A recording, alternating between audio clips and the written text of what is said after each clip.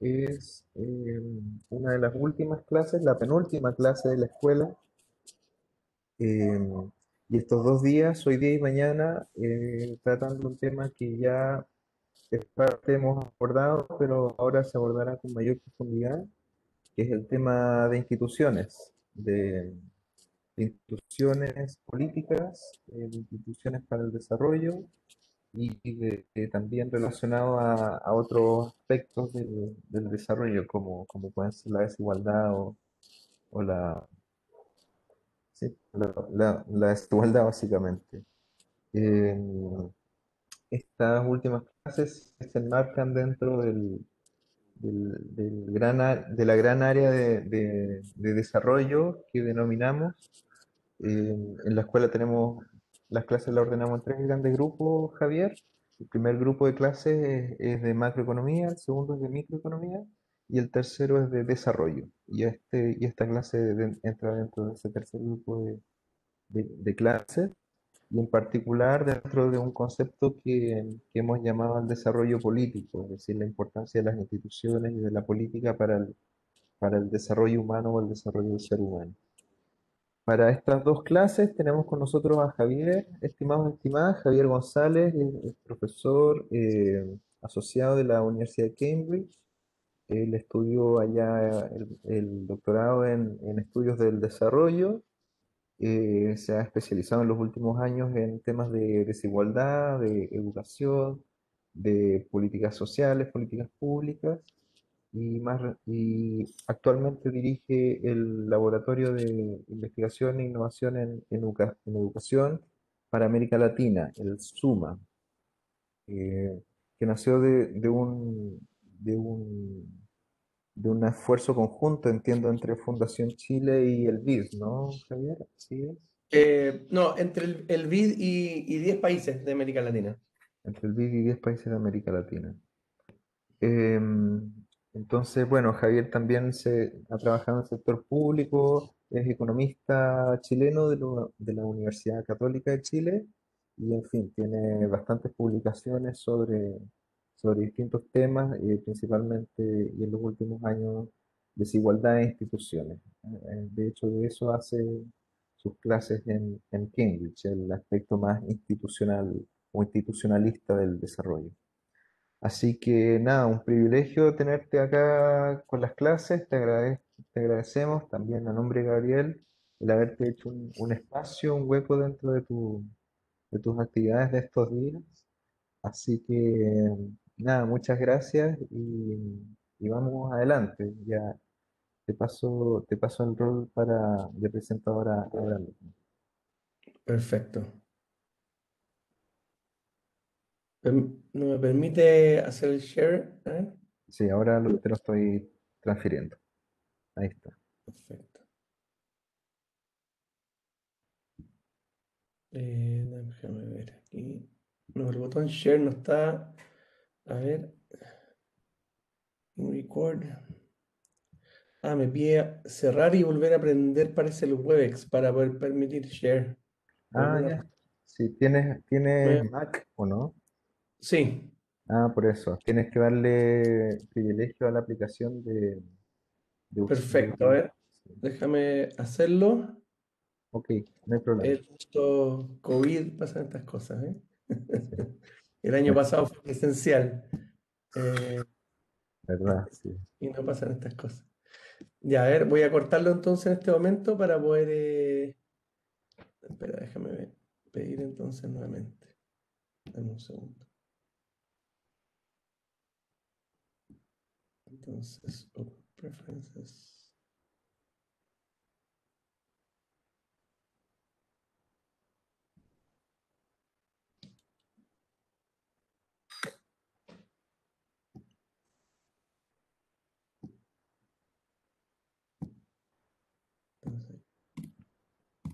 ¿Me escuchan ahora?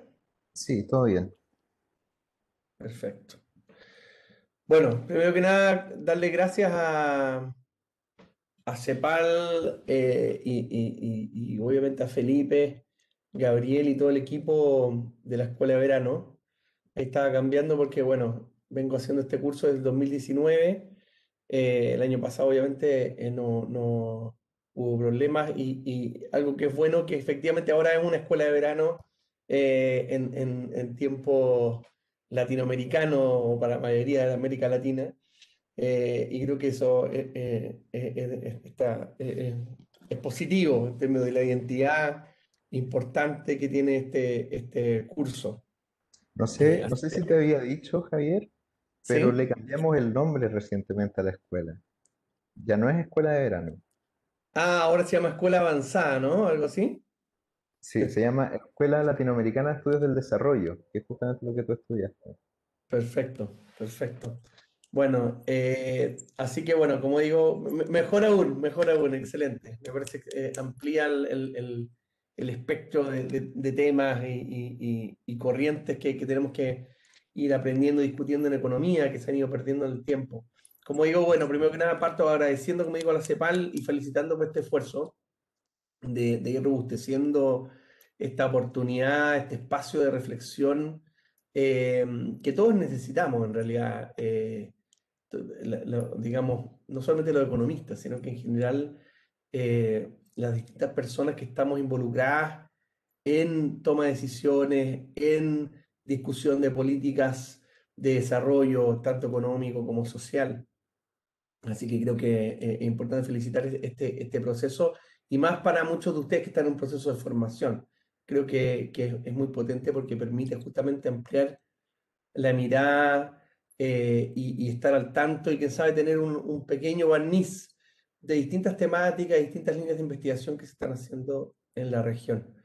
Eh, bueno, como decía Felipe, yo me he dedicado al tema eh, institucional tanto en la práctica, trabajé en gobierno por una década, tanto desde el Ministerio de Educación como el Ministerio de Hacienda, en donde me tocó ver justamente, obviamente, temas de educación, pero también mucho me tocó estar en el Consejo Nacional de Innovación eh, eh, chileno. Eh, me tocó temas, ver temas tributarios, por ejemplo, justamente redactar leyes que tenían que ver con incentivos tributarios al I+D en Chile, y otros temas y reformas que, que tenían que ver justamente con, con escribir las, de alguna manera, repensar eh, leyes, regulaciones, ¿no es cierto?, normas que de alguna manera establecen, ¿no es el funcionamiento de actores eh, y distribuyen derechos de propiedad, entre otros.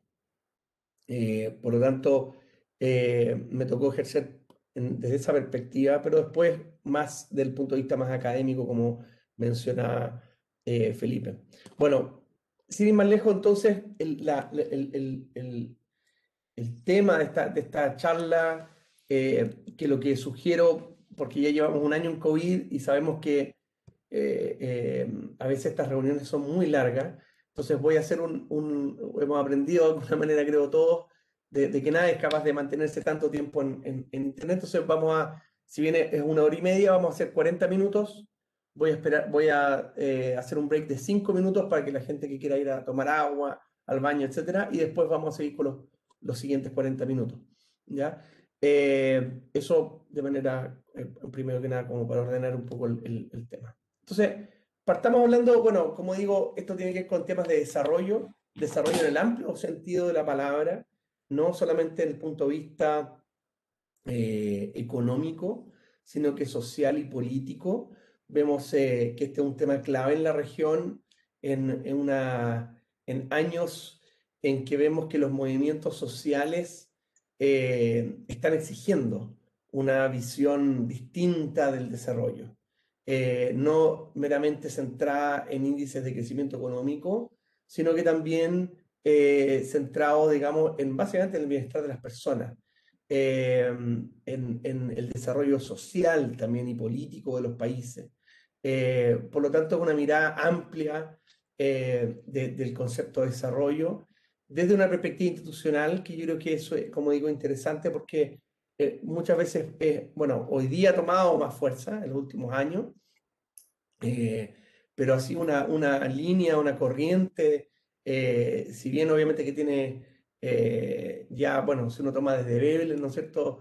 Ya eh, 100 años, digamos, dentro de la economía, pero que tiene una concepción más de economía política, por lo tanto se inscribe dentro de, de un marco incluso anterior de economía política, de alguna manera, si uno quiere, pero que ha estado de alguna manera un poco dejada de lado ante una, una visión más neoclásica de la economía.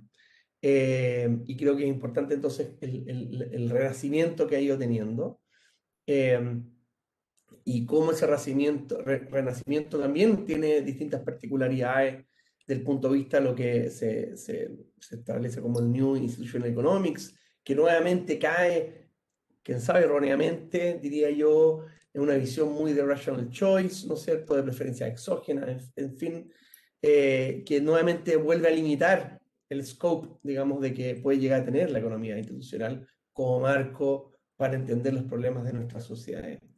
Eh, y por lo tanto, lo que también voy a conversar acá tiene que ver también con una visión más de cómo eh, ingresamos a, esta, a este plano de discusión el tema del poder, eh, las relaciones de poder y asimetrías de poder dentro de, del análisis, digamos. Y por lo tanto eh, deja de simplemente ser eh, una discusión respecto a las instituciones desde el punto de vista económico, sino que también obviamente eh, se mezcla con una visión desde la ciencia política, desde la sociología y también lo que se llama el social legal studies, ¿no es cierto? Desde el punto de vista del derecho y las instituciones de, esa, ese sentido.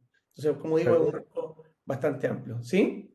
Disculpa, estamos en la, en la primera diapositiva aún, ¿cierto? Sí, sí, sí. está bien.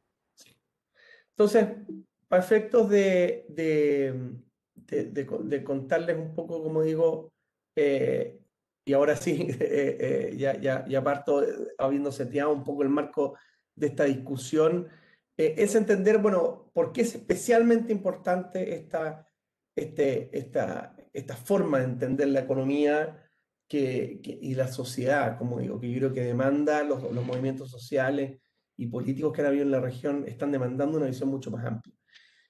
Nos enfrentamos como nunca, o, o, quién sabe, hemos venido, estamos enfrentados a estos problemas, pero por primera vez existe un, una conciencia, una awareness, ¿no es cierto?, eh, como nunca probablemente. Y creo que eso sí que es bastante seguro poder decir eso. Eh, respecto al cambio climático.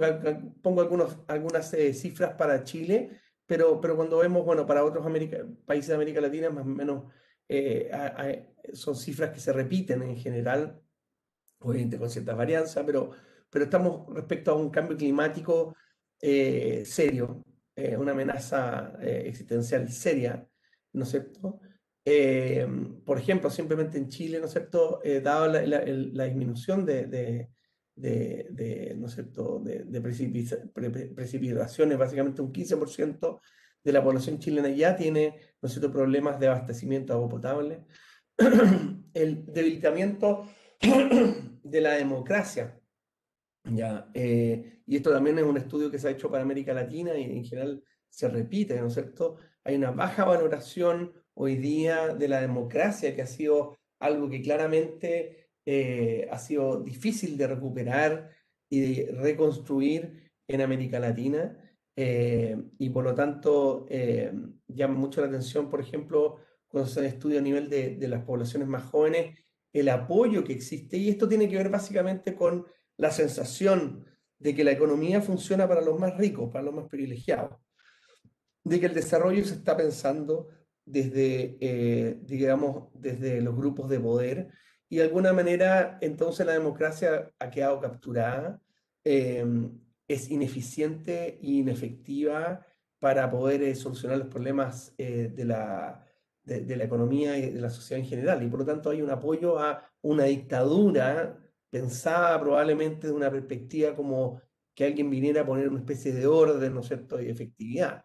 Em, eh, pero obviamente de manera falaz, digamos hay un aumento de, si bien América Latina viene disminuyendo la desigualdad hace, eh, eh, algunas décadas ya, o sea, la última década especialmente, y la pobreza, hay una, un, todavía eh, una cosa es que disminuye y otra cosa es el nivel, ¿no es cierto?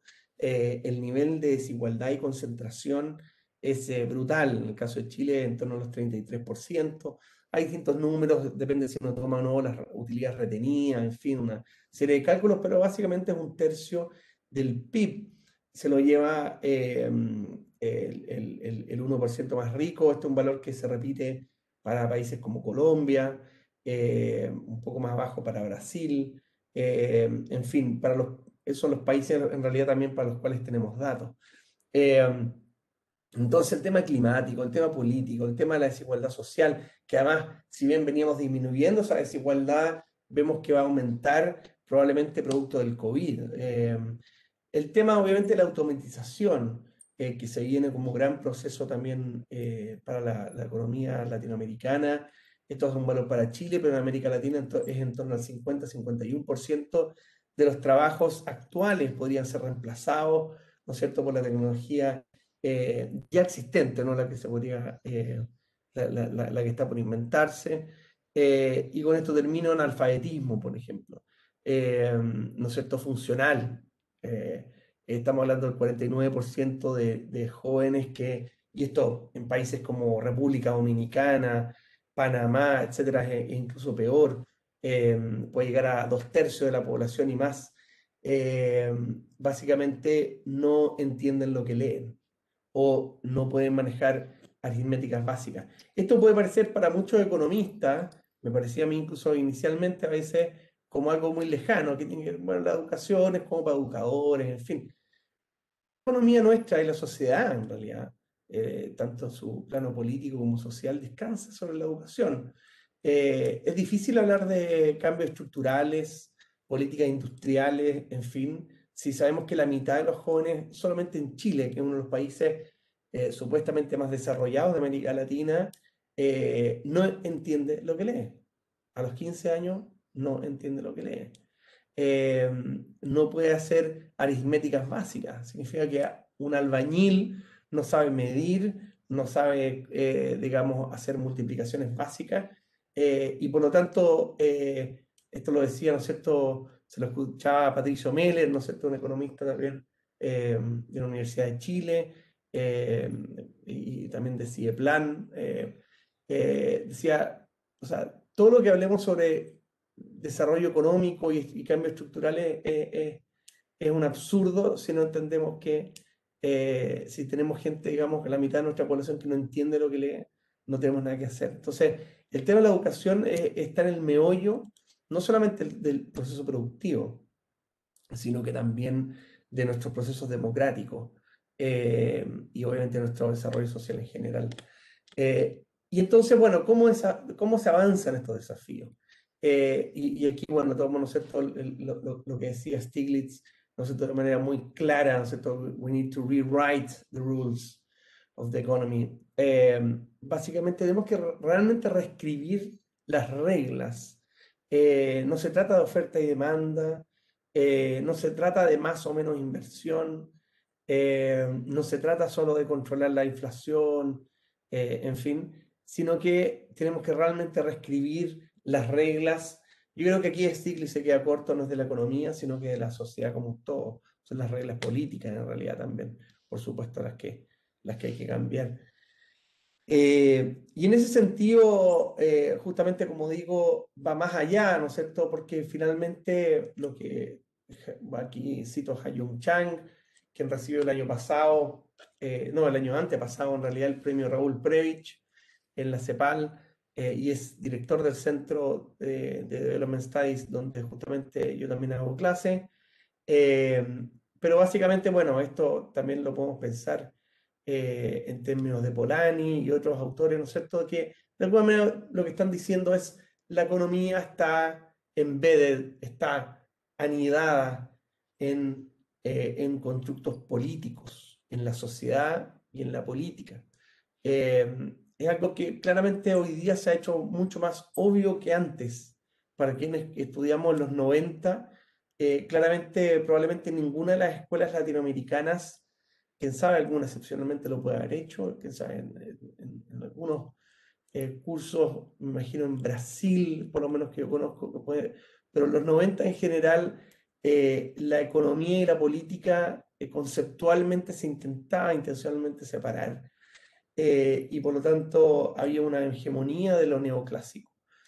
hoy día estamos ya, creo que ya en el 2021 con mucha claridad y espero yo que ya a nivel de pregrado ya se esté enseñando con mucho más claridad que es inseparable y es artificial, ¿no es cierto?, la separación del mercado de la política, finalmente, y de la sociedad. Por lo tanto, no tiene sentido esa, separación. Eh, y está definido ese, ese, constructo político, ¿no es cierto? Aquí pongo la cita de Hayung, ¿no es cierto? Eh, por una serie de instituciones formales e informales, ¿ya? Eh, y sobre eso, entonces, obviamente, esto de lo que vamos a hablar y requiere de alguna manera un cambio de paradigma de qué es lo que es desarrollo. Y, sobre esto quisiera, me imagino que ustedes han conversado ya durante todo este mes sobre qué es lo que es el desarrollo y, lo habrán discutido, pero, pero, pero también quisiera incluir una perspectiva no muchas veces discutida, que tiene que ver más desde la filosofía política. Eh, eh, y que espero que también, quien sabe, ya haya sido cubierta, si, que así eh, voy a redundar, pero si no, que, quisiera aportar esta visión. Y que por supuesto, o, no, por supuesto, pero me parece que, que, que efectivamente Amartya Sen, ¿no es cierto?, este premio Nobel de, Cambridge y después ahora de Harvard, propone, ¿no es cierto?, esta visión amplia de decir, el desarrollo se trata de ampliar las libertades de las personas para hacer con S y para hacer con H, ¿no es cierto? Eh, para hacer y hacer. y eso yo creo que es eh, una visión holística de lo que es el desarrollo. Sin embargo, eh, creo que eso se ha prestado para malentender probablemente lo que se refiere respecto al tema de la libertad. Y no necesariamente malentender a Zen, porque en su momento tuve la oportunidad de hacerle la pregunta, y efectivamente Zen yo creo que no resuelve el problema entre el trade-off a veces Em, o la necesidad de alguna manera de distribución eh, de libertades. Eh, pero, pero, pero cuando, volviendo al marco general de Zen, cuando habla respecto al tema libertad, la pregunta es, bueno, ¿qué entendemos por libertad? ¿Ya? Y como digo, la mayoría de las personas podrían mal entender esta visión de decir, ah, esto significa entonces que el desarrollo se trata sobre simplemente liberalizar los mercados, eh, ¿no es cierto?, eh, reducir el tamaño del Estado eh, y tener una visión totalmente en el sentido neoliberal de la sociedad. Y en realidad, tanto Tony como Berlín, Berlín siendo, bueno, además un, filósofo liberal, claramente,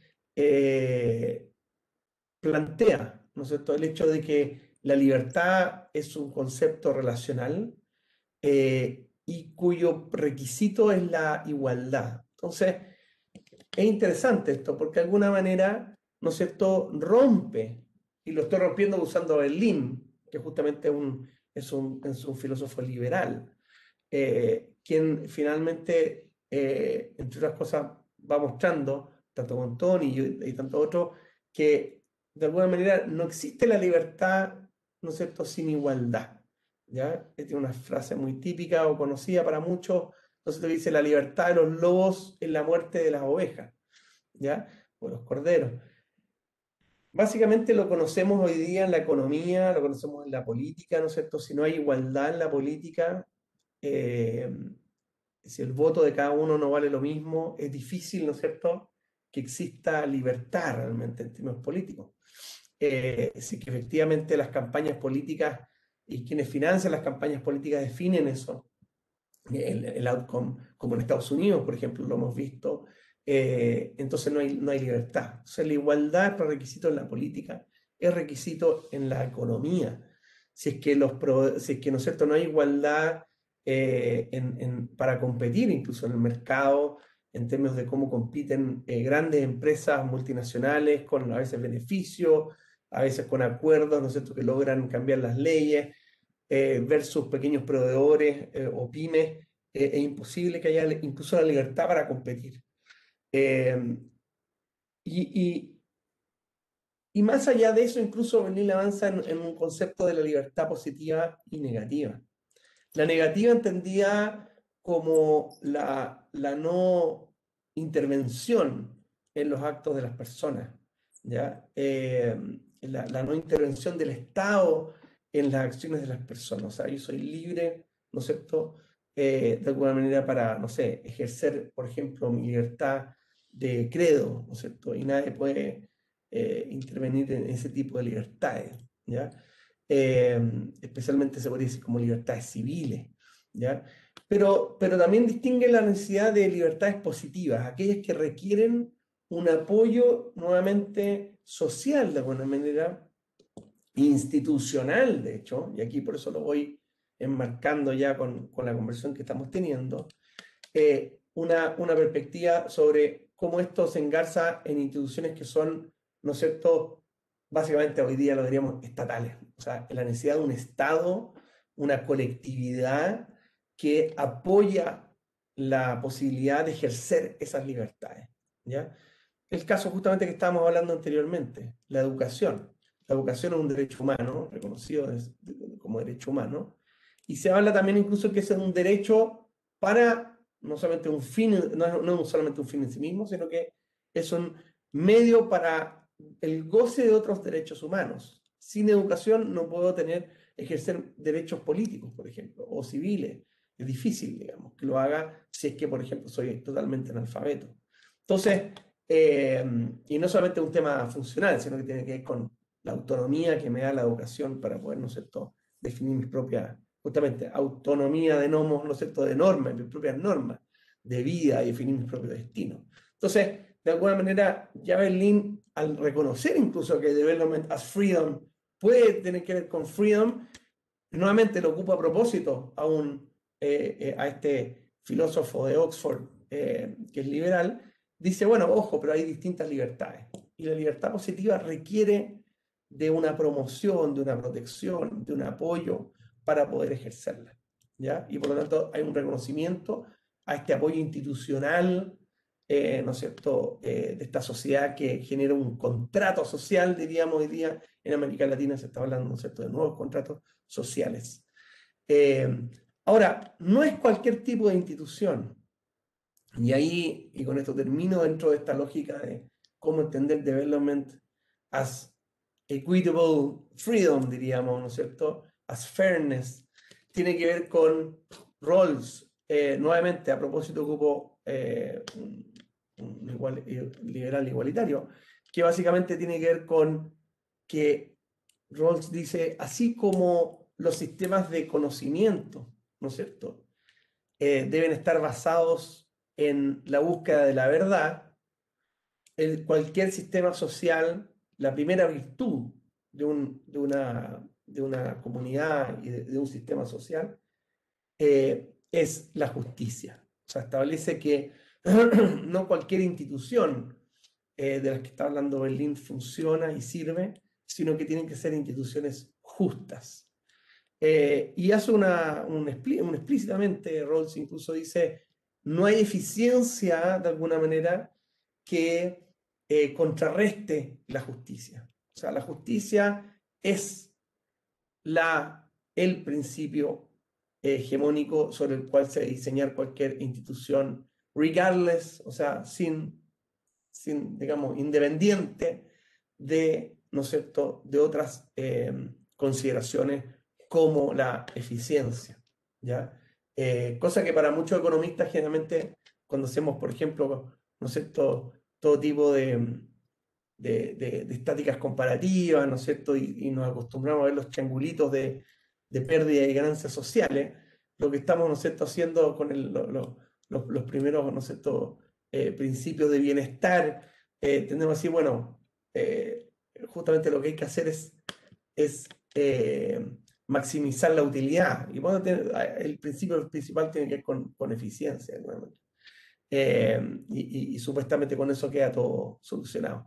Rawls, y, y, adscribo eso, claramente plantea que no, no es así. Entonces, en ese marco quiero establecer la discusión de eh, este Institutional Economics, eh, que tiene que ver con, de alguna manera, bueno, ¿qué son estas instituciones? ¿Ya?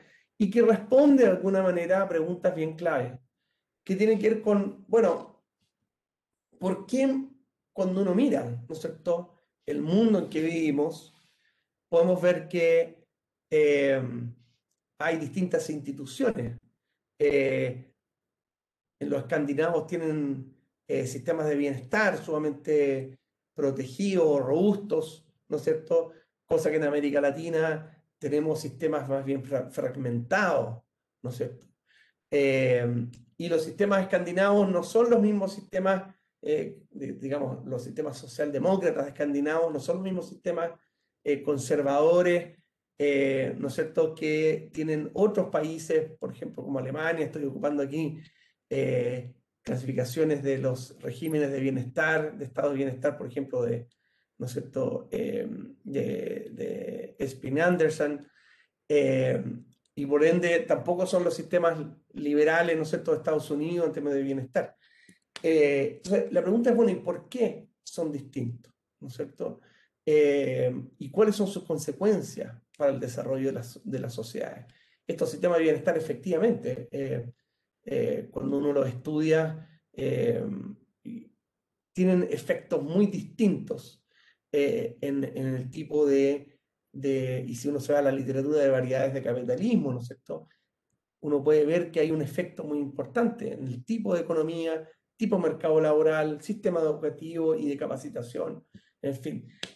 y por lo tanto configuran un tipo de economía y un tipo de sociedad distinta. La pregunta es, bueno, por qué son distintas, en qué son distintas, de dónde viene eso y además, obviamente, cuál es la consecuencia. Entonces, un poco vamos a tratar de entender esas preguntas de qué son, por qué es importante, cómo se produce el cambio, pensando que hoy día, y no sé, hay un path dependency, por supuesto, es decir, hay una dependencia en términos ¿no históricos, eh, y eso es también obviamente uno de los aportes eh, de, esta, de esta disciplina de, economía institucional es que tiene una visión eh, más bien histórica del desarrollo, evolutivo del desarrollo, y no estático como el marco neoclásico. ¿ya?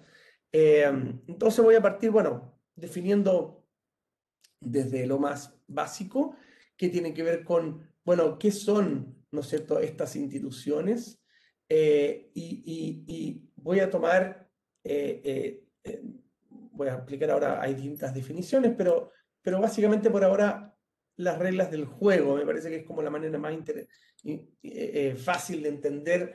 Todos hemos jugado juegos, desde el fútbol a ajedrez, a cualquier otro juego que hayamos jugado, ¿no es cierto? tenis, qué sé yo. y todos esos juegos tienen ciertas reglas de quién puede participar, quién gana, cómo progresa el juego, en fin. Y estas eh, reglas en general son de dos tipos.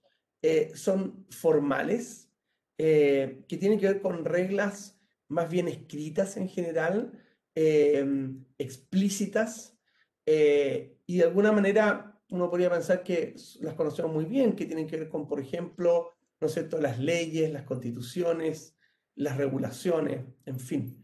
Eh, pero también hay reglas informales, ¿ya? Y que tienen que ver más bien con ciertos consensos que se puede hacer eh, dentro de la economía, eh, ciertas normas sociales sobre aquello que corresponde o no, y aquello que va a ser penalizado socialmente en una sociedad, aunque no esté escrito, aunque no haya sido consensuado en sentido formal y explícitamente, pero sí, de alguna manera, hay una especie de, como de consenso implícito en la sociedad de aquello que se puede o no hacer, eh, aquello que es ético, quién sabe, y que no es ético, aquello que es bien visto o mal visto. ¿ya?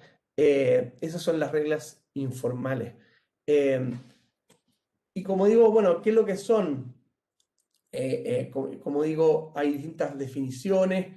Bebelen, ¿no es cierto?, tiene una perspectiva más bien yo diría más bien desde las normas informales y como estas normas informales de, de, habits of thoughts, ¿no es cierto?, eh, tiene que ver con, con, con, cosmovisiones de alguna manera y cómo esas cosmovisiones, esos ámbitos, esos, esas normas sociales, finalmente terminan también definiendo la economía eh, y, y, cuál es la demanda, eh, muchas veces por eh, ¿no sé, incluso por, por bienes que son conspicuos o innecesarios, de lujo, eh, pero que de alguna manera definen aquello que la sociedad, el tipo de comportamiento que se espera, espera o que se valora en una sociedad. North, por otro lado, una visión más, más neoclásica, eh, eh, plantea, ¿no es cierto?, más bien esta lógica de rules of the game, que me parece que, si bien en, la presentación tomo ambas de alguna manera, pero para efectos como, como, como de una sola definición me parece que es como la más straightforward, la más eh, directa y fácil de entender, como digo, que son reglas del juego. Por supuesto, dentro de esta, debo advertir, si, no, si bien no va a haber tiempo para discutir esto, hay distintas escuelas, ¿no es cierto?, dentro de la economía institucional, lo que se llama, por ejemplo, el Old Institutional Economics versus el New Institutional Economics, eh, que tiene que ver con, bueno, diferencias que son obviamente relevantes. Y claramente aquí hay dos eh, exponentes de ambas, ¿no es cierto? Eh, Veblen más del All Institutional Economics, que tiene que ver con preferencias endógenas, una visión más evolutiva e histórica, ¿no sé, estas normas con multicausalidad, en fin, versus North con una perspectiva más de rational choice, preferencia exógena, ¿no es cierto?, eh, en fin. Ahora, ¿por qué son importantes estas eh, instituciones?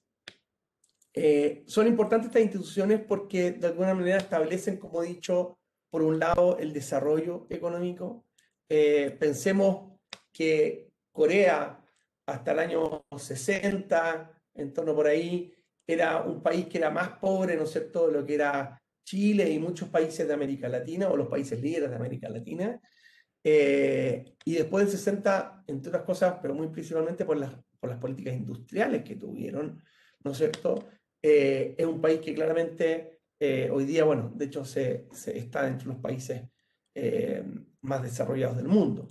y por lo tanto hubo un cambio de instituciones, de normas, de reglas del juego, de incentivos, de políticas, en fin, que permitieron que se desarrollara de una manera muy distinta a la que conocemos en América Latina en general, ¿no es cierto? Que estaba una lógica mucho más bien extractiva. Em, y por otro lado, muy importantemente, las, eh, las instituciones definen de manera muy importante lo que son la distribución de recursos y del poder. ¿ya? Eh, y voy a hacer un ejemplo acá, justamente después voy a entrar el tema más, eh, por ejemplo, tributario en Chile, pero, pero que, que, uno lo puede ver para el resto de América Latina, que, que, que sufre de los mismos problemas. Pero, pero pensando en que se viene el 8 de, de marzo, que es el Día de la Mujer, y este mes entero, bueno, eh, entiendo que es el mes de la, o ayer fue el día de la, cero discriminación.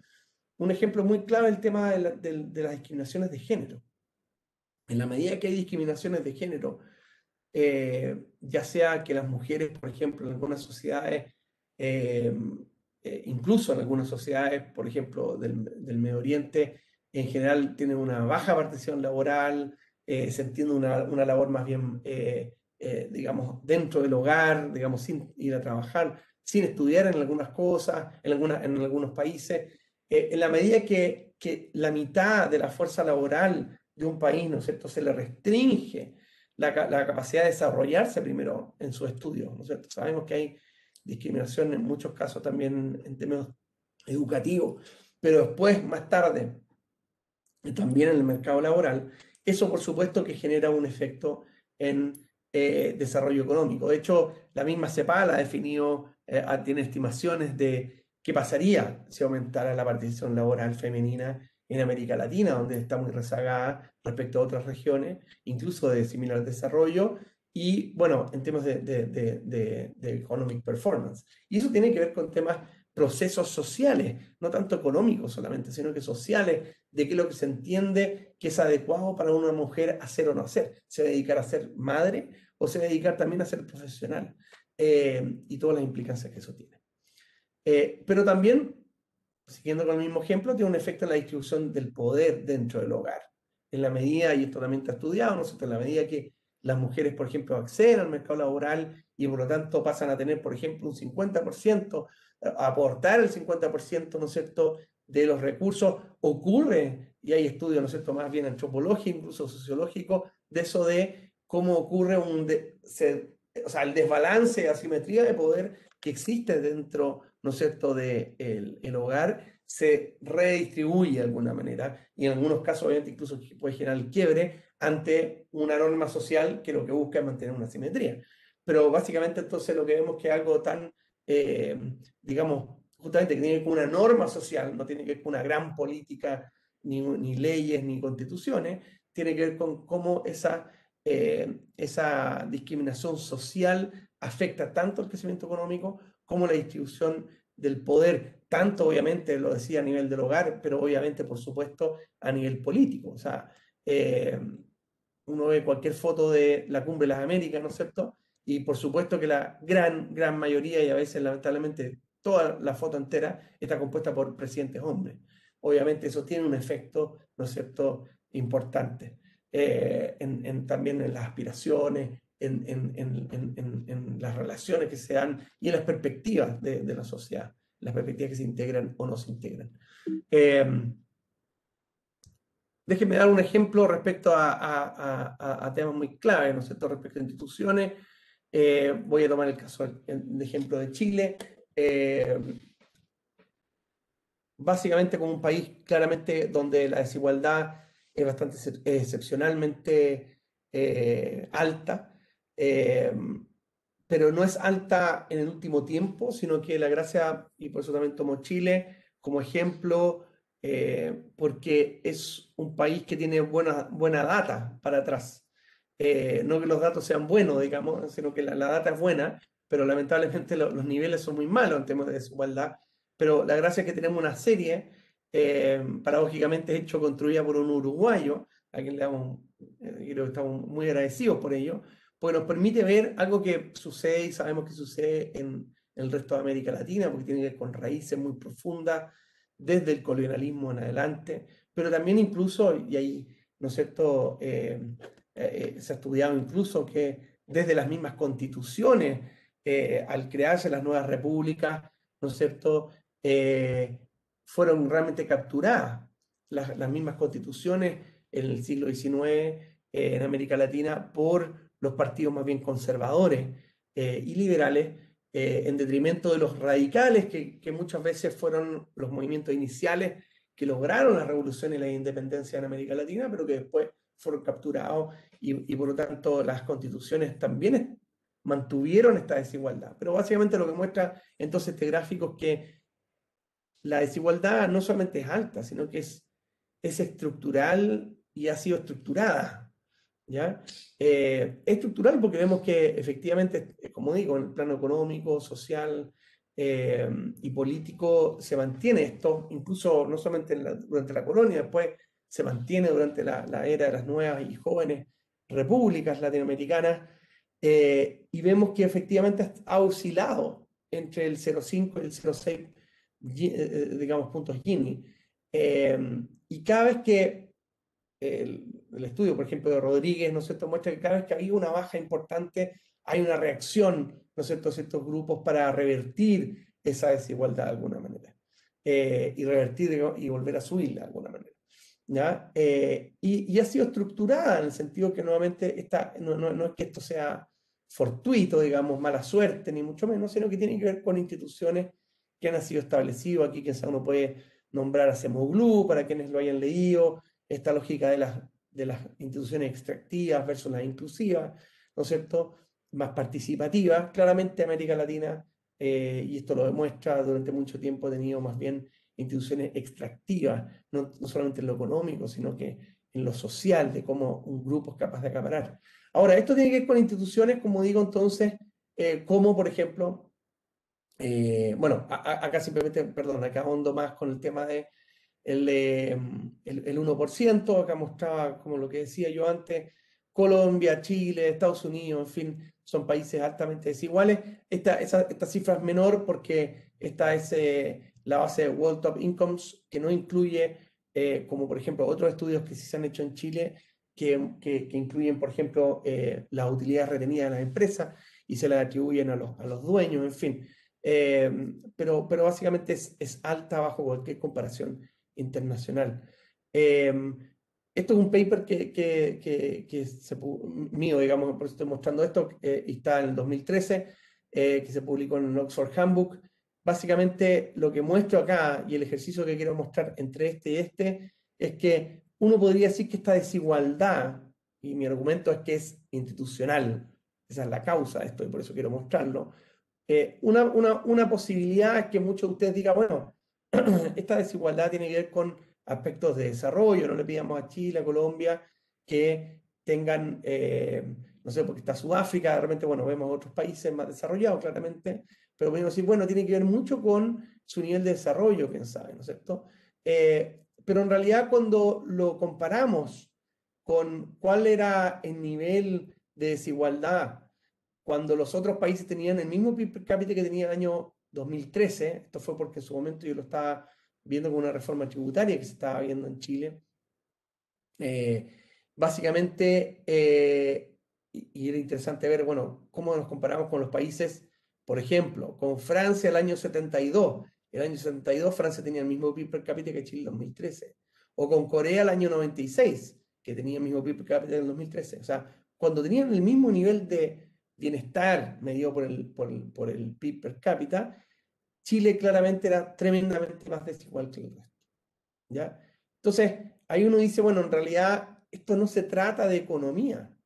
Este no es un problema económico, que la gente dice, bueno, primero, primero crezcamos y después distribuyamos. Eso lo, leemos en todos los diarios latinoamericanos, ¿no es cierto? En todas las discusiones políticas latinoamericanas, eh, eh, eh, esa frase es como muy típica, digamos, para los que hemos estado en discusión en el Congreso, etcétera. Eso es continuamente una, una lógica que se establece y que parece muy lógica. Primero, que, primero, primero hagamos que la torta crezca y después distribuyamos. Pero en realidad no es así. Eh, no solamente no es así porque sabemos que eh, incluso el FMI, que es interesante, el año 2012 en adelante, viene publicando eh, papers donde muestra que básicamente aquellos países, ¿no es cierto?, que son más desiguales tienden a crecer menos pero no solamente tienden a crecer menos en el, tiempo, el tiempo, sino que además crecen por lo que se llaman los growth spurs, básicamente crecen por menos tiempo. O sea, crecen menos el nivel de tasa, pero también esos periodos de crecimiento son más cortos. Por lo tanto, hay una causalidad desde la desigualdad al crecimiento, no al revés. ¿ya? Eh, y por lo tanto, eso es, es, bastante interesante.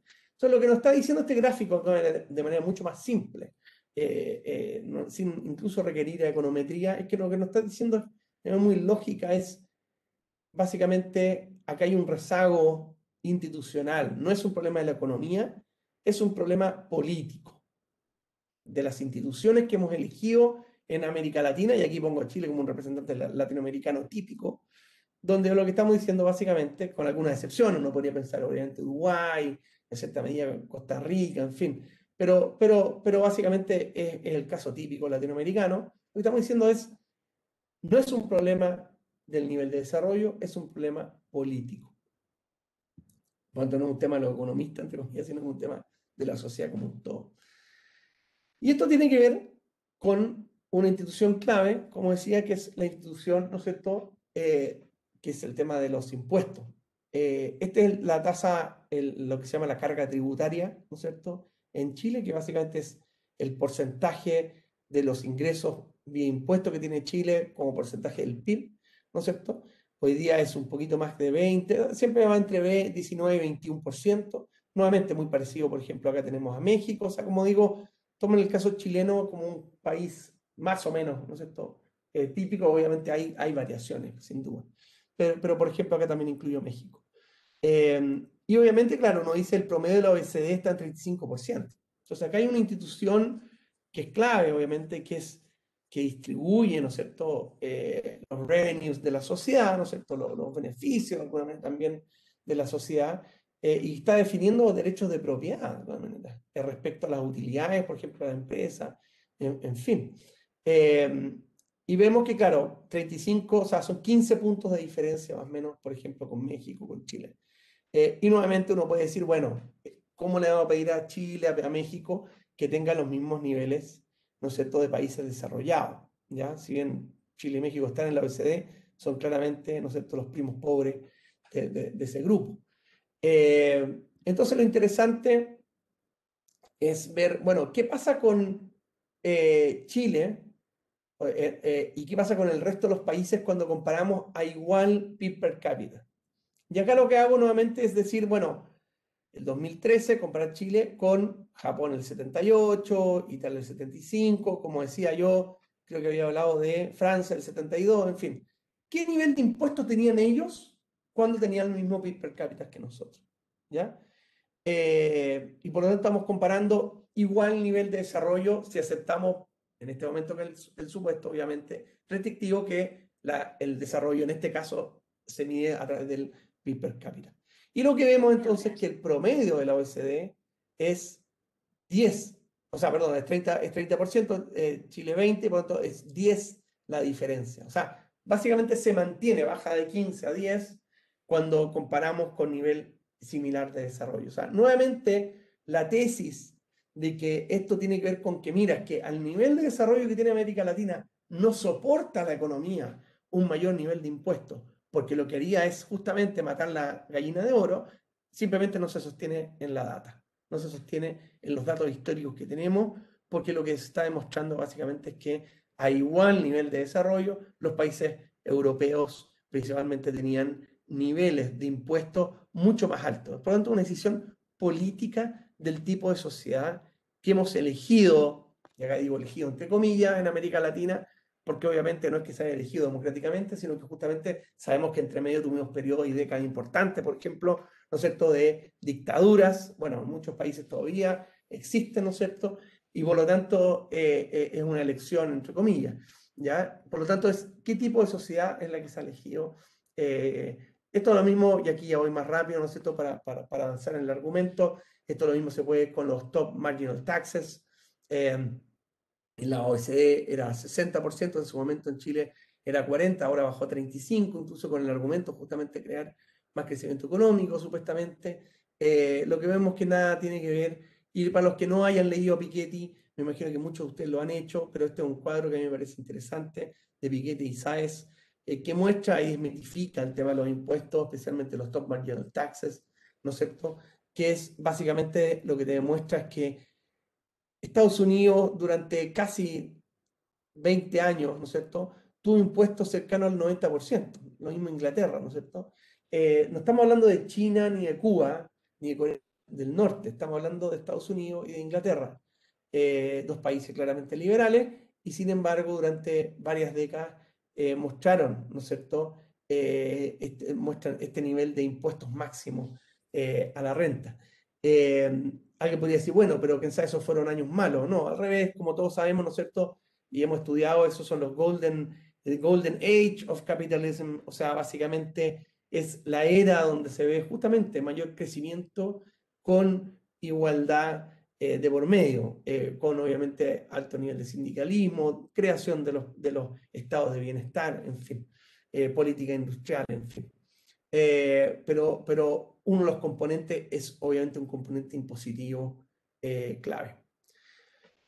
Entonces, volviendo, hice ese detour, pero para mostrar eh, salir de esto, porque lo, lo, quiero llevar a algo muy simple, este marco teórico de las, de, de las instituciones, pero tiene implicancias, por supuesto, muy concretas y, interesantes, y que permite complejizar eso. Y como digo entonces, las instituciones, había dicho antes yo, definen el desarrollo económico, pero definen principalmente el tema de los property rights. ¿ya? Eh, aquí hago una, una, una especie de votación, eh, Felipe. Son las 11. No sé si sigo hasta las once y media o, o, prefieres que pare igual cinco minutos. Yo había prometido cinco minutos, no me di cuenta, me, me, me pasé un poquito. Yo creo, Javier, que sigamos nomás y, y, y ojalá podamos dejar 10 minutos, algo así, para, o 5 minutos para preguntas Perfecto. Entiendo que mañana seguimos, ¿no es cierto? Entonces, sí, mañana seguimos. Perfecto. Entonces, eh, uno, si, quieres avísame tú en caso que no, me dé cuenta yo eh, cuando queden cinco minutos para, para, para dejar en caso que haya preguntas. Em, Entonces, el tema respecto a la distribución de, de, de, propiedad, que, es, que es algo sumamente importante. Por supuesto, cuando digo propiedad, bueno, puede ser tan explícito como propiedad, eh, y, lo llevo a casos que, claro, suenan como añejos, pero que es parte de la, de la historia del, del, del 99% de la historia humana, donde había esclavitud, ¿no es cierto? Y por lo tanto también esas, esas, esas instituciones definían el derecho incluso sobre el cuerpo humano, ¿no es cierto? Eh, pero también defino, cuando digo derecho de propiedad, en términos más generales, ¿no es cierto? De, eh, no, no, de propiedad física, como un ser humano, obviamente por lo aberrante, que es, pero lo traigo porque, porque bueno, y sigue, sabemos que lamentablemente existe todavía esclavitud encubierta en nuestra región. Eh, yo, bueno, a mí me tocó mi vida vivir en Perú, en Argentina y en Brasil. De hecho, viví cuatro años.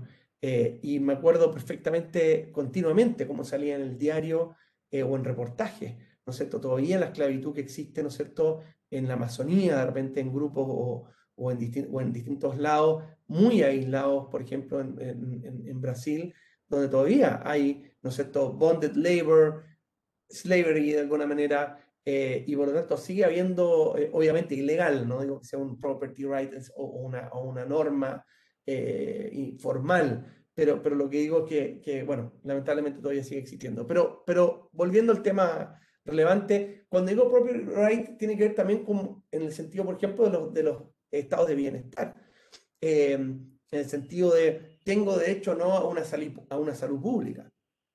Tengo o no derecho a la educación como un derecho, no como un privilegio. Eh, y en ese sentido son los property rights, en el sentido de los beneficios sociales que genera una sociedad. Eh, no solamente en términos de propietarios eh, en sentido estricto material. Y, y, algo importante es que en la economía, para aquellos que han sufrido de alguna manera, y digo sufrido porque no, no es que descarte totalmente, obviamente, la, economía neoclásica, en ningún caso, pero claramente sí el hecho de que se siga enseñando de manera monopólica en, la mayoría de nuestras facultades de América Latina, eh, genera una distorsión eh, absurda, digamos, de respecto a qué sí, del análisis económico. Eh, y entre los análisis absurdos, por ejemplo, tienen que ver con que es la, mala lectura de la, teoría de Coase, por ejemplo, que a muchos se nos enseñó, donde lo que se dice básicamente es que mientras los costos de transacción sean cero, básicamente, eh, da lo mismo quien tenga que, eso no tiene, ¿no es cierto?, ningún tipo de efecto, eh, no solamente obviamente o sea, tiene efectos distribucionales, pero no tiene efecto en la allocation, la asignación de los recursos, ¿ya? Eh, y se toma eso en general como el corolario casi, ¿no es cierto?, cuando en realidad, el mismo Coase lo pone, lo dice, Obviamente, el, obviamente los, costos de transacción eh, en cualquier, eh, en la realidad, ¿no, es no son cero. Y por lo tanto, ¿quién tiene los, los recursos? ¿Quién recibe? ¿No es cierto? Eh, podemos pensar en una especie de asignación, ¿no es cierto?, de recursos naturales o, o, o, de otro tipo, sí tiene un efecto, obviamente, no solamente distribucional, sino que también tiene un efecto en la asignación de los recursos y por lo tanto en el, progreso, en el crecimiento económico, en el desarrollo económico en general. ¿ya? Em, pongo, pongo el ejemplo a aquellos que no, que quien saben que de otras disciplinas o que no hayan, eh, ¿no es cierto?, conocido el, el, teorema de Coase. Creo que es relevante revisarlo porque, porque eh, eh, se ha construido mucho sobre eso. pongo un ejemplo muy, muy, muy simple, ¿no es cierto? que básicamente es, supongamos que yo vivo en un departamento y tengo un vecino que hace ruido, ¿ya? Yo valoro el silencio y mi eh, vecino valora, ¿no es cierto?, el, el, ruido.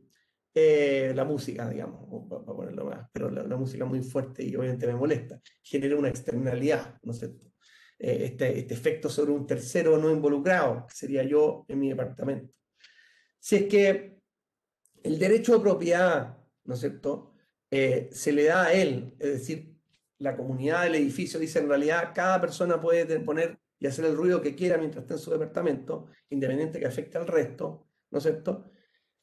Lo que ocurre en un mundo de transacción cero, ¿no es cierto?, de costo de transaccional cero, es decir, que no hay ningún problema en fácilmente llegar a un acuerdo con mi vecino, es que si él valora esa música en 50 y yo valoro mi silencio en 100, es que fácilmente entonces yo voy a ir, le voy a tocar la puerta, le voy a decir, vecino, te pago 50 o te pago 51, digamos, y ya incluso va a quedar contento, ¿no es cierto? Y él va a estar dispuesto a no prender su música y los dos quedamos, quedamos digamos, eh, no va a haber música, va a haber silencio. Por supuesto, en el otro caso, que sé que, sé que cambiamos el derecho a propiedad, pero se mantiene el supuesto de transacción cero, llegamos al mismo resultado. Si yo soy el dueño del derecho a propiedad y en realidad la comunidad del edificio dice, en realidad acá se privilegia el silencio, por lo tanto, salvo que el vecino esté de acuerdo, eh, lo que debe, eh, eh, digamos, prevalecer es el silencio, va a llegar mi vecino, me va a tocar la, la, la, puerta y me va a decir, ¿puedo poner música? Estoy dispuesto a pagar 50. Yo le voy a decir no porque yo valoro en 100. Y obviamente entonces no se va a generar la música, llegamos al mismo equilibrio. Esa es básicamente la teoría de Coase. Da lo mismo a que le entreguemos los recursos, la asignación de recursos, si la tienen los pueblos originarios o lo tiene un empresario eh, internacional, en fin, los dos van a invertir de la, misma manera. La asignación de recursos de, por ejemplo, en temas de la producción agrícola va a ser la misma, en fin. ¿ya?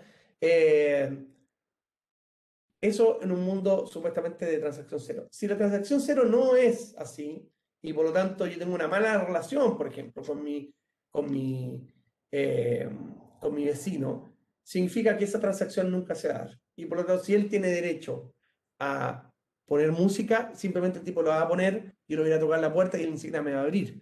Eh, y por lo tanto va a haber música. Si el derecho a propiedad está en el silencio, se genera silencio. Por lo tanto, la asignación de recursos, lo que se cultiva, lo que se produce, en fin, en una sociedad, sí depende de quién sea el dueño del recurso.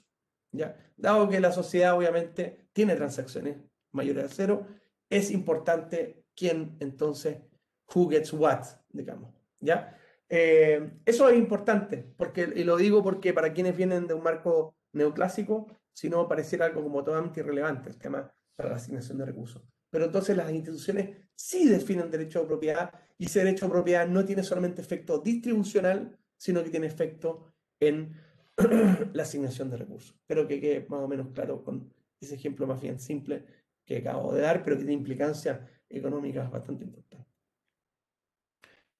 Entonces, estamos definiendo por qué, de, como digo, por qué importan las instituciones. Uno, porque definen los derechos de propiedad con estos dos temas, afecta el crecimiento o el progreso, la asignación de recursos y la distribución.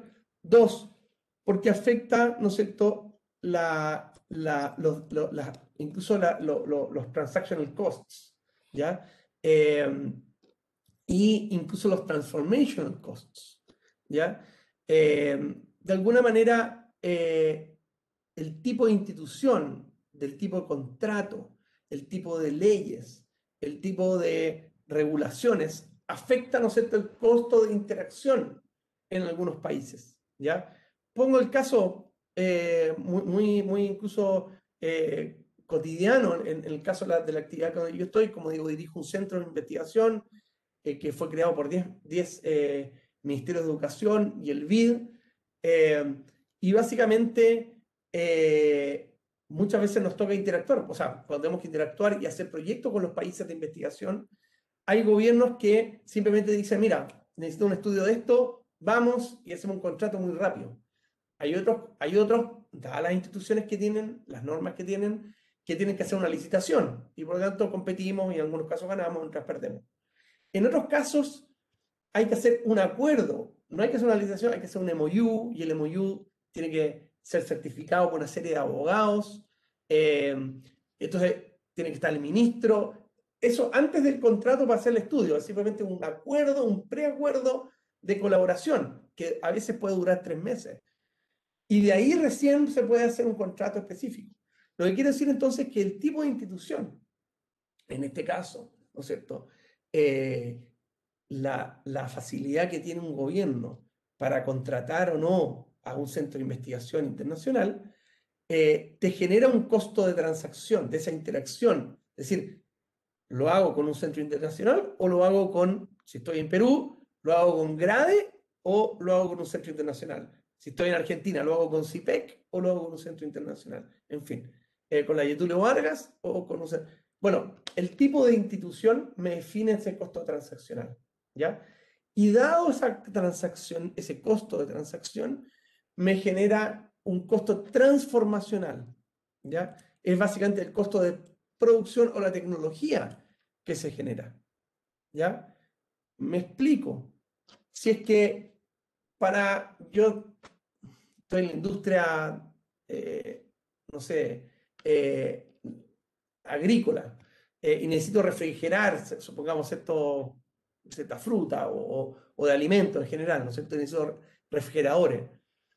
Pero tengo una serie de normas que, que me hacen más difícil, por ejemplo, importar una, una máquina japonesa, no solamente por el costo de impuestos, sino que la interacción que significa traer los repuestos, en fin. Eh, bueno, aunque sea mejor el refrigerador japonés, puede ser que yo diga, bueno, voy a preferir algo que a la larga es más costoso, por ejemplo, un refrigerador nacional, con esto no estoy diciendo que esté en contra de las políticas industriales, pero estoy diciendo, eso puede generar que yo diga, mira, voy a estar con un refrigerador peor, no llega a menos 30, llega a menos 25, no dura 5 años, dura quién sabe 15, o sea, perdón, dura 3, en fin, pudiera llegar a ser distinto, y por lo tanto, dado el costo transaccional, de que además tengo que tener, no sé, eh, eh, no sé, todo, permisos, en fin, para importar, termino en un caso donde estoy haciendo un supuesto que lo nacional es peor a ese óptimo, con un costo transformacional, un costo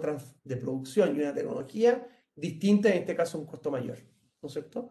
Por lo tanto, dado ese costo mayor, obviamente me, me define el tipo de desarrollo de esa misma industria, ¿no es alimentaria que estoy haciendo, ¿ya? Por lo tanto, de alguna manera, esto de, manera muy fácil lo que estamos diciendo, ¿no es cierto?, que el intercambio te afecta, obviamente, la, sabemos todos, ¿no? la división de trabajo, la división del trabajo es la que te genera la productividad y eso el desarrollo económico, haciendo como un, muy, ¿no es cierto?, una, lógica muy de, a, lo, Adam Smith o Ricardo en términos de, ventaja comparativa, eh, estática en este caso, ¿no es cierto?, no, no dinámica.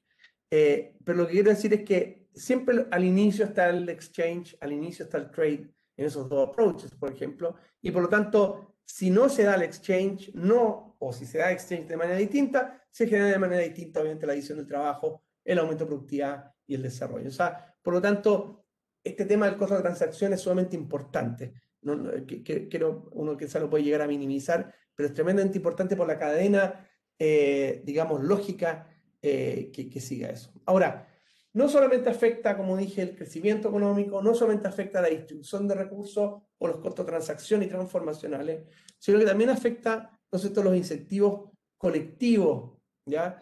En el sentido que te afecta qué tipo de interacción humana eh, se da en el ecosistema. Se puede dar una lógica más bien competitiva o una lógica cooperativa, ¿no es cierto? Vemos que en países, ¿no es cierto?, eh, donde han habido, por ejemplo, políticas industriales, lo que se hace es hacer cooperar a, los, a, los, a, a las industrias nacionales y competir con países extranjeros en, el caso latinoamericano muchas veces en realidad es distinto. Es, dada la institucionalidad que hay, cada empresa compite con el país y con el mundo. Y por lo tanto no se generan encadenamientos a veces adecuados, no se generan, ¿no sé, masas críticas adecuadas, en fin.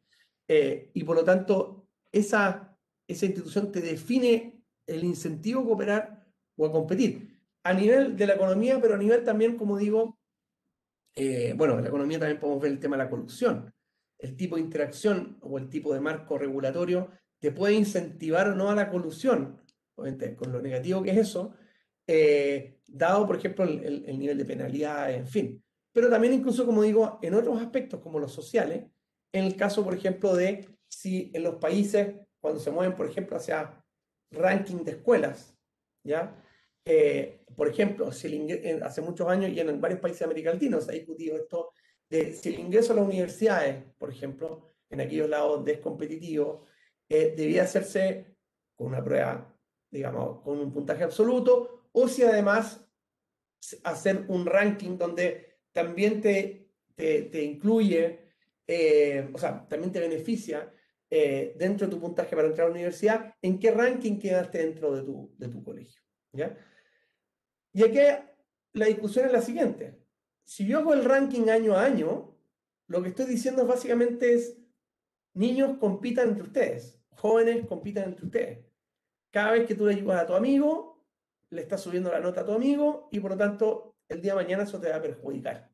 Por lo tanto, vamos generando desde la infancia, desde la adolescencia, una lógica competitiva. Es interesante porque después lo que se habla nosotros en el mercado laboral es que tenemos que saber cómo cooperar. A nivel de empresa, en fin, que tenemos que innovar y para la innovación se requiere cooperación, innovación abierta, en fin. Y sin embargo, todo lo que nos muestran es que hay que competir. Ahora, claramente, simplemente para cerrar la, discusión respecto al ranking, eh, en el caso del ranking, lo que se ha hecho, por ejemplo, en el caso de Chile, es que eh, ese ranking es respecto a un, eh, a un nivel histórico. Entonces dice, mira, es como un ranking simulado respecto a los últimos cinco años, por lo tanto no afecta a tu generación, a tu amigo, si tú sí lo puedes ayudar, porque en realidad se compara respecto a los últimos cinco años, pero no respecto a tu generación. Entonces, es un mecanismo en que de alguna manera se genera el incentivo a que te vaya bien, pero incluso podría ser que todo el mundo suba en ese ranking porque es con respecto a una comparación histórica. Lo que quiero decir es que las instituciones, nuevamente, estas normas, estas reglas del juego, pueden generar efectos tan importantes como qué tipo de sociedad sea más individualista, competitiva o más cooperativa, no sé, más comunitaria. Eh, también te, afecta obviamente temas productivos o no productivos, ¿no es cierto? Eh, respecto a temas de, de, los royalties, por ejemplo, ¿no es cierto? ¿Qué actividades se hacen más o menos, ¿no es cierto?, eh, eh, rentables. Te afecta, por supuesto, la creación de mercado, ¿no es cierto? Eh, no olvidemos, ¿no es cierto? Y esto Hayung Chang siempre lo pone en sus libros, ¿no es cierto? Hace muy poco tiempo, ¿no es cierto? En el, mercado laboral había niños y eso se eliminó, ¿no es cierto? o por otro lado, la marihuana, ¿no es cierto? En países, ¿no es cierto? Como Uruguay y otros, ya es parte del mercado. Entonces, eh, eh, eh, es clave las instituciones porque incluso te permiten crear o no crear mercado. Con lo, con lo cual, obviamente, por definición, volvemos a la primera slide que yo mostraba, que obviamente también los mercados son un constructo político, están anidados en una sociedad y por lo tanto la sociedad define incluso si existe o no existe el mercado. Obviamente uno podría decir, bueno, pero igual existe el mercado de la marihuana. Bueno, es un mercado informal y habría que, bueno, en algunos casos se ha logrado eliminar más, en otros menos, en fin, eh, hay, una discusión. Pero, pero claramente eh, es distinta incluso la penalidad que se le da, sea al portador, sea al proveedor, en fin. Lo que quiero decir es que las normas claramente incluso definen esos mercados. Eh, y te afectan de manera muy importante, y aquí es para los más microeconomistas que pueden haber en un grupo, de manera muy importante Acá, hay, bueno, eh, un, un, libro, por ejemplo, que se llama Institutional, eh, eh, Economics of, Identity, de Akerlof y Cranton, donde desde una perspectiva incluso, esto es más neoclásico, bueno, te muestra cómo de alguna manera, ¿no es cierto?, las, las normas afectan endógenamente, ¿no es cierto?, a, a las preferencias, ¿no es cierto? de distintas formas. O sea, pensemos en el caso, ¿no cierto? Digo, de los, de los cigarrillos. En la medida que hay impuestos y que los cigarrillos eh, la gente no puede fumar, por ejemplo, en, restaurantes cerrados, eh, bueno, el costo de, eso básicamente hace que la gente cambie su comportamiento eh, porque le da lata, digamos, o sea, le, da pereza, digamos, en América Latina salir afuera, ¿no es cierto?, al, al frío, qué sé yo, y eso hace que la persona cambie su, su, su behavior, su, su, comportamiento, fume menos, a la larga va cambiando su preferencia, ¿no es cierto? Eh, y en la medida que deja de fumar, incluso podría ser hasta su identidad, que el tipo diga en realidad voy a dejar de fumar, voy a comenzar a ser una persona más sana y voy a, ¿no es cierto?, a, hacer deporte y qué sé yo, ¿no es cierto? Eh, hay otros estudios, por ejemplo, eh, que, van en la otra causalidad.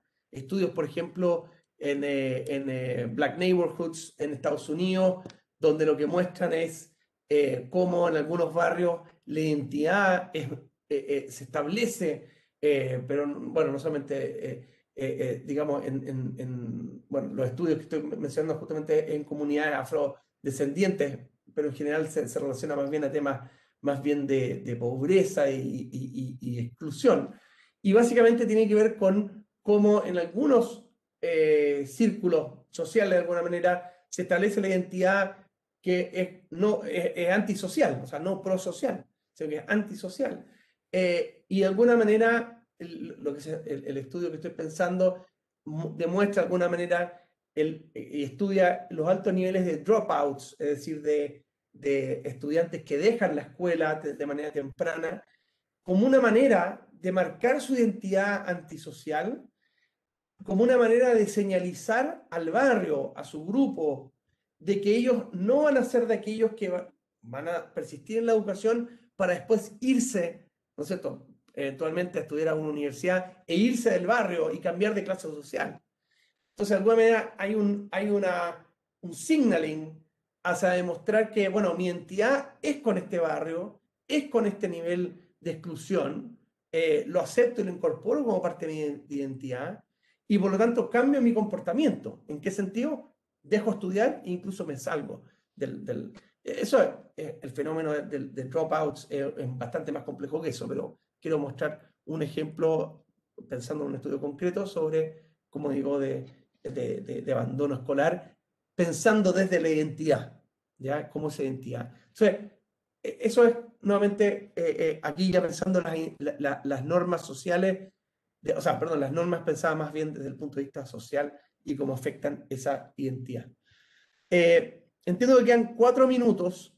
Quisiera simplemente terminar con, con, con, contarles qué es lo que me gustaría ver en la próxima sesión, que básicamente es, bueno, en esta sesión hemos cubierto más bien qué son y por qué son importantes las instituciones, cuál es el marco conceptual que hay detrás, e intentándoles dar algunos ejemplos concretos eh, que nuevamente uno los puede ir complejizando, ¿cierto? Por tema de tiempo, trato de dar ejemplos muy, muy concretos y, pequeños.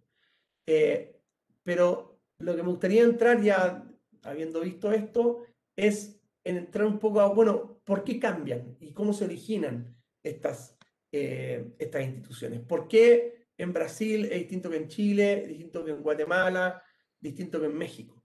Eh, ¿De dónde vienen estas instituciones? ¿Cómo podemos aspirar también a cambiarlas? Eh, ¿Cómo a veces me parece a mí que es un poco naif esta lógica de que con más evidencia simplemente vamos a lograr cambiar las decisiones de política pública? Aquí lo que lo que ocurre en América Latina es que necesitamos mejores estudios y con eso simplemente vamos a cambiar el mundo. No, los estudios y la evidencia juegan un rol, pero hay un rol, por supuesto, en las asimetrías de poder y, en entender que estas instituciones son también, obviamente, un resultado de esas asimetrías de poder y de la cosmovisión que existe en la sociedad y con todas esas normas sociales que, que me refería anteriormente. Sobre eso vamos a conversar de manera más profunda eh, y de manera de poder entender un poco mejor. También entendiendo que muchos de ustedes van a ocupar, eh, pero así, cargos ya sea en la academia, pero también en organismos internacionales o gubernamentales, donde la idea es entender, bueno, si yo quiero cambiar y reformar algo, ¿desde dónde? Entonces, puedo pensar esa reforma. ¿Cuáles son los actores y, las, los supuestos que tengo que eh, pensar en, en ese sentido? Así que Muchas gracias y por supuesto eh, abierto a distintas eh, preguntas que puedan existir. Muchas gracias. Muchas gracias, Javier. Muy interesante la, perspectiva que nos presentas. No, no, la habíamos abordado en la escuela, así que un gran, un gran, aporte, un gran aporte, una gran adición la que se ha hecho. Estimados estudiantes, estimados y estimadas estudiantes, ¿hay preguntas, comentarios? yo tengo una pregunta. Adelante. Eh, muchas gracias por la presentación, interesante. Eh, desde el punto de vista de este módulo, me parece que uh, considera Estados Unidos como, como, un caso ideal de evolución institucional y como una norma general a seguir por los países subdesarrollados. É, pero considerando que, tudo considerando que objetivo final de, de las instituições é proporcionar desenvolvimento econômico é, através do crescimento, não há uma trajetória diferente a seguir por os americanos, latino-americanos, porque há especificidades dentro de, desses países e não necessariamente a, a regra é, é seguir uma trajetória similar dos Estados, Estados Unidos. Não sei se foi claro na pergunta.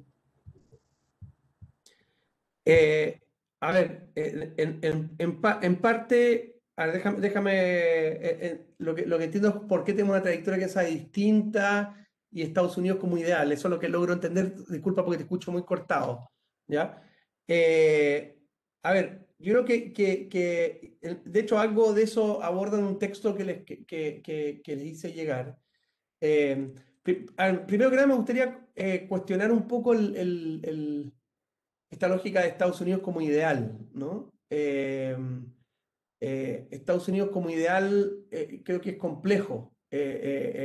y, ¿Por qué? Bueno, de partida porque el desarrollo de Estados Unidos eh, incluye, primero que nada, al menos 100 años de, esclavitud. Y sobre esa esclavitud eh, es que se generó mucho de, eh, ¿no es cierto?, de los capitales iniciales de Estados Unidos sobre la espalda de una parte de la población importante. Por lo tanto, este ideal o esta visión de Tocqueville, digamos, como, como Estados Unidos para democracia, una democracia totalmente inclusiva, como lo pone quien sabe hace Moulou de alguna manera, eh, en, otros, en otros lados también matiza quien sabe eso, pero, pero la, digamos la caricatura que, va quedando como, como en el sentido como una, una sociedad ampliamente inclusiva, la, la, primero que nada me, me, gustaría cuestionarla, yo creo que es importante cuestionarla y no idealizarla, dado que tú ocupaste la palabra ideal. Eh, como digo, uno, por, porque es una sociedad eh, que, claro, la democracia para quién? Primero que nada, la democracia era para los blancos, propietarios y que, tu, y que supieran leer y escribir. Por lo tanto, primero que nada, no, lo de inclusivo eh, es cuestionable. Ahora, es más inclusiva que América Latina, en muchos aspectos sí, efectivamente.